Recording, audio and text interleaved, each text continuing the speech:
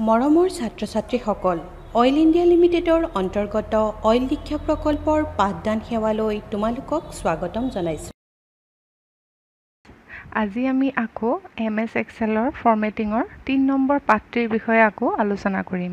সেইদিনা যে আমি এম এছ এক্সেলৰ ফৰ্মেটিঙৰ ৱৰ্কশ্বিটখনৰ বিষয়ে বিস্তৃতভাৱে আলোচনা কৰিছিলোঁ আৰু এক্সেল শ্বীটৰ সহায়ত কি কি কৰিব পাৰি সকলোবোৰৰ বিষয়ে আলোচনা কৰিছিলোঁ। ছাত্ৰ ছাত্ৰীসকল সেইদিনা তোমালোকে ৱৰ্কশ্বিটৰ বিষয়ে সকলোবোৰ কথা ভালকৈ বুজি পালানে?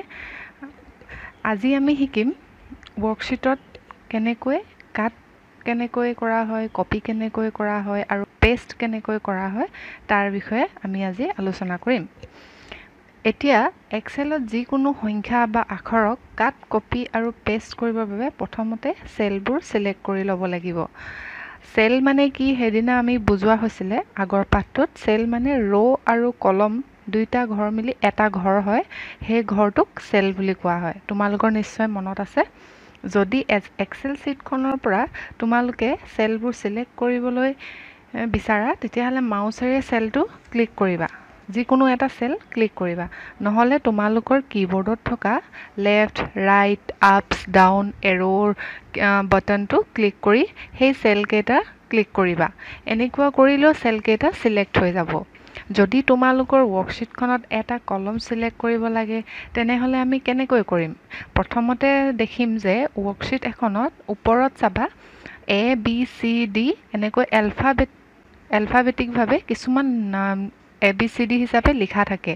আৰু ৱৰ্কশ্বিটখনৰ বাওঁফালে চাবা one two three four five এনেকৈ সংখ্যা কিছুমান লিখা থাকে। তোমালোকে সকলোৱে মন কৰিবাচোন ৱৰ্কশ্বিটখন এবাৰ। যদি আমি ৱৰ্কশ্বিটখনৰ মাত্ৰ এডাল কলম ছিলেক্ট কৰিব লাগে তেতিয়াহ'লে আমি কলমটোৰ ওপৰত কোনটো এলফাবেট আছে? যদি আমাক এ ঘৰটো লাগে তেতিয়াহ'লে এটো ছিলেক্ট কৰিবা। যদি বি ঘৰটো লাগে তেতিয়াহ'লে বি ঘৰটো ক্লিক কৰি দিবা। তেতিয়া গোটেই কলমটো ছিলেক্ট হৈ যাব। তেনেকৈ তোমালোকে যদি কোনোবা এডাল ৰ' ছিলেক্ট কৰিব বিচাৰা তেতিয়াহ'লে বাওঁ ছাইডে চাবা তাত কিছুমান নাম্বাৰ লিখা থাকে আৰু সেই নাম্বাৰডাল ৰ'ডাল ক্লিক কৰি দিলেই ছিলেক্ট হৈ যাব। আৰু যদি বাহিৰত ছিলেক্ট ক্লিক কৰি দিয়া তেতিয়াহ'লে ডিছছিলেক্ট হৈ যাব। এতিয়া আমি শিকিম কাট কেনেকৈ কৰা হয়। এতিয়া আমি যিকোনো এডাল ৰ' বা কলম কাট কৰিবলৈ প্ৰথমতেই সেই ৰ' বা কলমডাল ছিলেক্ট কৰি ল'ব লাগিব। এতিয়া ক্লিপবৰ্ডত হোম টেবত কাট বুলি লিখা থাকে। হোম টেব মানে বুজি পাইছা? ৱৰ্কশ্বিটখনৰ ওপৰত হোম টেব তেনেকৈ লিখা থাকে।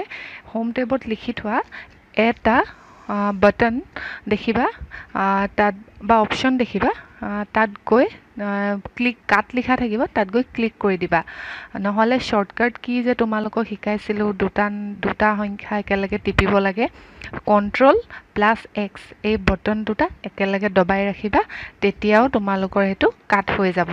কাট কৰাৰ পিছত ৱৰ্কশ্বিটখনত তোমালোকে য'তেই পেষ্ট বটনটো ক্লিক কৰি দিবা তাতে টেক্সটো বহি যাব। এতিয়া আমি শিকিম কপি কেনেকৈ কৰা হয়। কপি কৰিবলৈ যিটো টেক্সট তোমালোকে কপি কৰিব বিচাৰিছা বা যিকোনো সংখ্যা বা যিকোনো তোমালোকে লিখা যিকোনো এটা টেক্সট মানে তোমালোকে যদি সেইটো কপি কৰিব বিচাৰিছা সেই টেক্সটটো ছিলেক্ট কৰি ল'বা প্ৰথম। ইয়াৰ পিছত ক্লিপবৰ্ডত চাবা ওপৰত কপি বুলি লিখা থাকে। হোম টেবত চাবা মানে তোমালোকৰ ৱৰ্কশ্বিটখনৰ ওপৰত চাবা তাত তোমালোকৰ কপি বুলি লিখা থাকিব। তাতে গৈ ক্লিক কৰি দিবা। নহ'লে শ্বৰ্টকাট কি তোমালোকক যে শিকাইছিলোঁ দুটা কি একেলগে দবালে কি হয় shortcut key control plus C একেলগে বটন দুইটা টিপি দিবা তেতিয়া কপি হৈ যাব। আৰু এতিয়া সেই টেক্সটটো য'তেই দিব খোজা পেষ্ট কৰি দিব লাগে।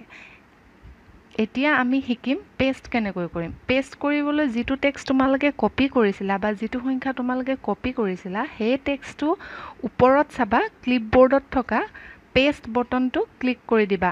নহ'লে শ্বৰ্টকাট কি কণ্ট্ৰল প্লাছ ভি এই দুটা একেলগে প্ৰেছ কৰি দিবা তেতিয়া দেখিবা যে পেষ্ট হৈ গৈছে। ছাত্ৰ ছাত্ৰীসকল তোমালোকে এতিয়া বুজি পালানে? কপি পেষ্ট কাট কেনেকৈ কৰা হয়?